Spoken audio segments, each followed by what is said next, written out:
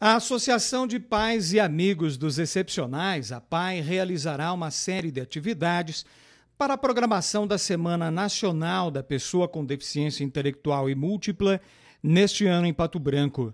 As atividades serão em formato híbrido e terão diversas palestras ministradas por profissionais de diversas áreas.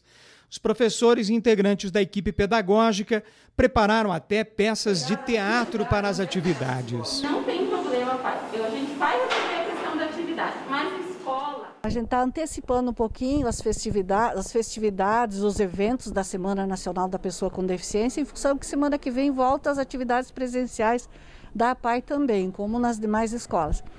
Num primeiro momento, nós pensamos em fazer um trabalho interno aqui, com professores e funcionários, no sentido de que eles também aprimorem e incorporem esse direito da pessoa com deficiência.